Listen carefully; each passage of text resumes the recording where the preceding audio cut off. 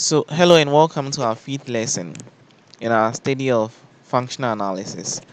So, in our fifth lesson, we will be verifying that the Euclidean norm is a norm, and we'll also go through some examples of norms. Okay, so note that in our previous lesson, that was lesson four, we talked about norms, the properties of vector norms and we also showed the we proved the triangular inequality right? And the reverse of it as well. So in this video i'm going to give some examples of norms and verify that the euclidean norm is indeed a norm. So let's come to some examples of norms all right so the first example we talk about is the absolute norm right right which is very simple. So for instance when you have negative 2 the absolute norm of negative 2 is what? 2 when you have 3 the absolute norm of 3 is what? Um 3 right? So that's the absolute norm. It's very simple right? And we have the Euclidean norm also called the L2 norm or 2 norm or square norm. And that one is also given by this right? So for instance when you have this vector let's see we have and we are asked to find the L2 norm or the Euclidean norm. It will just be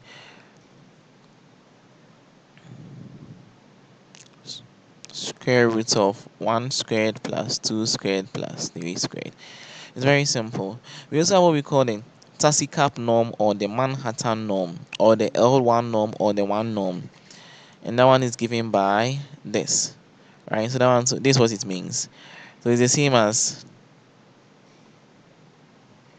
magnitude of s1 plus magnitude of x2 plus dot dot to dot to magnitude of sn. So when you have the same vector we had here, let's say 1, 2, 3, the one norm of it, right, would just be magnitude of 1 plus magnitude of 2 plus magnitude of 3, right? Then we also have the p norm, right, of which later on we realized that the taxicab norm and the um Euclidean norm are examples of it. We can also have what we call the composite norm. And we can talk of the infinity norm as well. So these are some examples of what norms that we have, right? So now let's verify the reason why we are saying that the Euclidean norm is a norm. Note that you can also be asked to verify that any of these is a norm, right? Okay. So the Euclidean norm on what?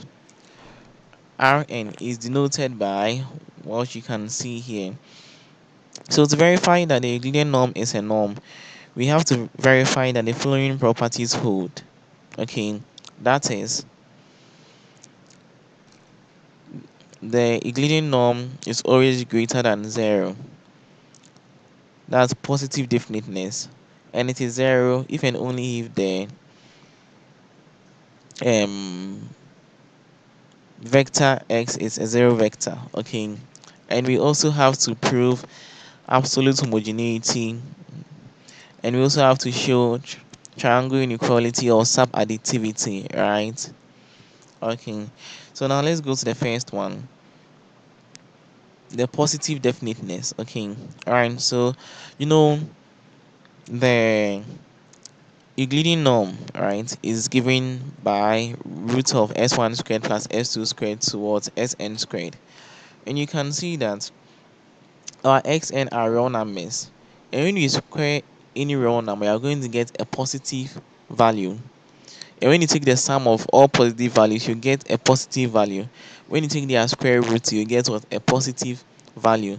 So it means that indeed this year is greater than 0 okay? And this year will only be equal to 0 if our x1 x2 x3 to xn are all what 0 that is if the vector is 0 so this here shows the first point. When you add them together, then it shows the property of what semi-positive definite. Okay, definiteness. then the second property is that we have to prove um, absolute homogeneity okay right so you see when we multiply the vector by a scalar we are going to have the Euclidean norm to be given by what you can see here right? So we can expand that and we get alpha squared s1 squared plus what you can see here. So you can see that alpha squared is common. So we can factor that out and we have this. And when we bring that one out we are going to consider the absolute value of what? The alpha right? Because this will give us root of alpha squared times whatever we have and you know root of alpha squared will give us plus or minus alpha.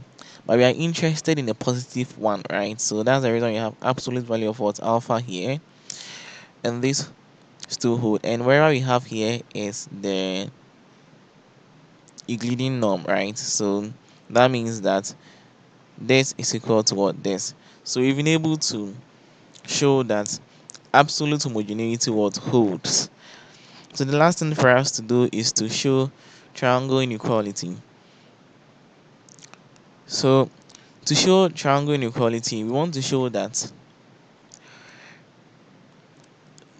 when we have two vectors, vector s and vector y. The Euclidean norm of vector s plus y is less than or equal to the Euclidean norm of vector s plus the L2 norm of what vector what y. Okay. So to show this, we are going to let x and y be vectors in Rn. Alright. So note that this condition here holds okay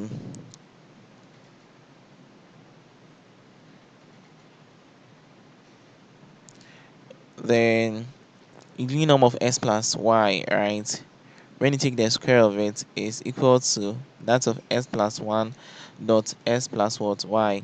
So the dot here is the dot product. Okay so this here is going to give you x dot x right? So s dot s then plus s dot y. So you can find here then plus y dot x then plus y dot y. Okay we have this here then it's the same as s dot x plus twice of x dot y plus y dot y. And x dot x is the same as the norm of x squared right? Then we have plus 2x dot y plus the norm of y all squared.